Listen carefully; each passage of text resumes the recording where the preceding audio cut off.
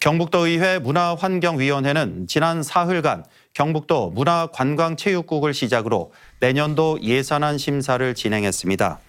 국민의힘 박규탁 도의원은 경북문화재단의 사업 능력 대비 과다한 사업 수행을 지적했고 영천 출신 이춘우 의원은 경북체육회 경영체질 개선을 강조했습니다. 문화환경위는 내년 경주에서 진행되는 에이펙 정상회의에 대비해 사업이 내실 있게 추진될 수 있도록 만전을 기해달라고 주문했습니다.